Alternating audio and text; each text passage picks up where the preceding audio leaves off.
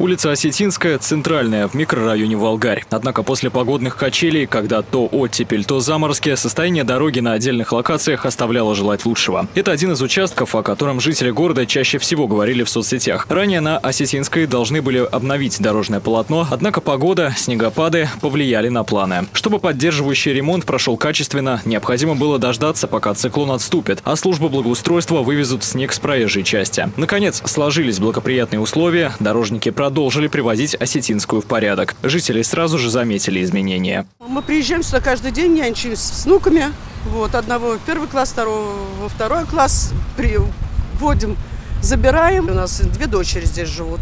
Они водят машины сами, и мужья, и поэтому, конечно, эти ямы, они создают неудобства. Конечно, хотелось бы желать лучшего, чтобы не было этих ям. Ну, молодцы, справляются, делают. Мы этому рады. Аварийно-ямочный – это вид ремонта, во время которого специалистам на месте дорожного дефекта нужно сделать всего одну небольшую карту. Простыми словами, придать яме правильную геометрическую форму, чтобы уложить литую смесь. Перед этим, если есть необходимость, локации на проезжей части освобождают от талой воды или корки льда. Остальное – дело высоких температур самой смеси, которую можно использовать даже в сырую погоду. Температура литой смеси где-то порядка 200 50-220 градусов. Поэтому по технологии, ну, как положено, так кладем. А сами видите, мы убираем и воду, и снег.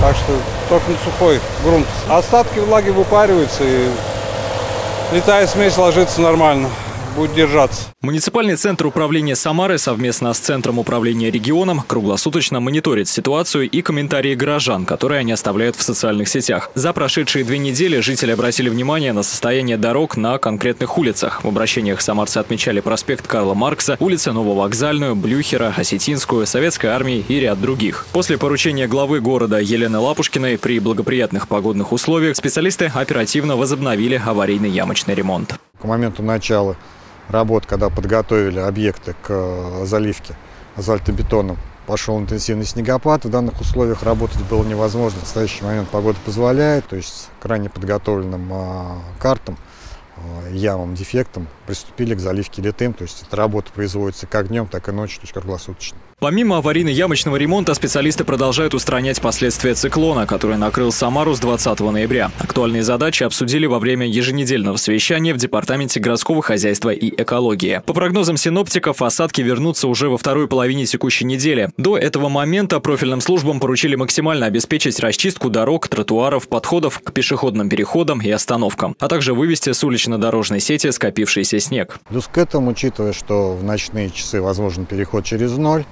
это превентивная обработка отдельных участков тротуаров, особенно лестничных спусков и спусков подъемов а, противогололедными материалами, для того, чтобы в ночные часы при отрицательной температуре не образовывался корка льда и не возникала зимняя скользкость. Всего с момента начала интенсивных снегопадов на площадке временного складирования доставили почти 17,5 тысяч тонн снега. Проезжая часть дорог расчищена и обработана, общественный транспорт следует по маршрутам беспрепятственно. На дорогах в частном секторе прочищен основной ход. Продолжают и откачку талой воды с низинных мест города. Днем 28 ноября в уборке всех городских территорий, включая дороги, тротуары, общественные пространства, внутриквартальные территории, приняли участие больше 3000 дворников и 238 единиц техники обратить особое внимание по посыпке э, значит, э, антигололедными средствами э, значит, вблизи непосредственно МКД, социальной сферы. Главы районов по-прежнему координируют все работы. На совещании также обратили внимание профильных предприятий, организаций и подрядчиков на необходимость рационально распределять ресурсы, чтобы техника и персонал выходили на максимум объектов в районах. Михаил Ермоленко, Сергей Баскин. События.